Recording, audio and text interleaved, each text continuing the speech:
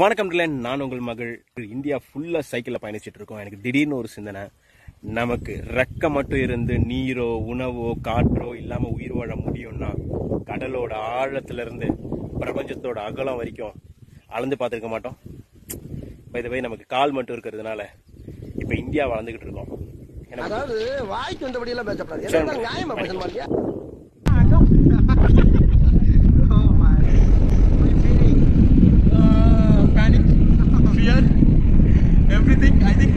Last take ஆகி நண்பர்களை பறக்கணும்னு முடிவு பண்ணிட்டா பறந்துடணும் பேசி.